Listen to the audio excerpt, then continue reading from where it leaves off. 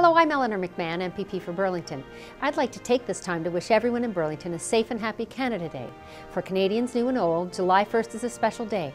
It's a day to take pride in this great country that we call home.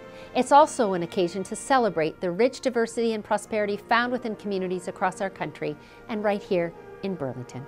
I wish you and your family a safe and enjoyable holiday and a wonderful summer. Happy Canada Day.